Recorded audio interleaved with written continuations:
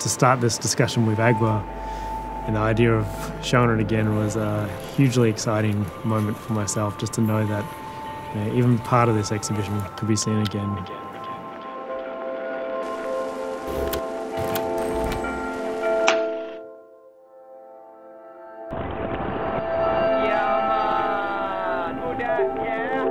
I grew up in a small town near Geelong. I didn't really see much graffiti or street art growing up there, but for me, exploring the city was all about skateboarding.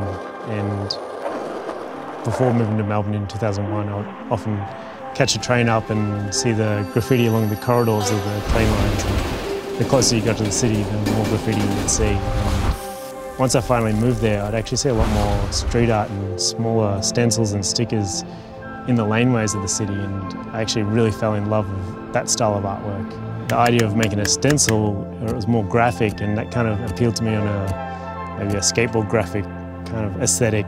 For me, it was more about a, a social activity of going to these places and putting up the work and hanging out with my friends and eventually I finally had to give up the skateboard and but I was very happy to continue painting and that became my new social activity.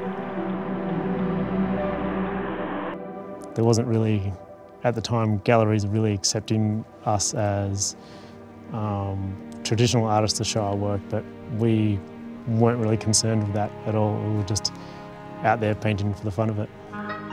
That's when we started um, our studio, which was the back half of a shed that was mainly filled with washing machines and old car parts and we could rent it really cheap and we found a sign that said Everfresh and that became the name of our studio.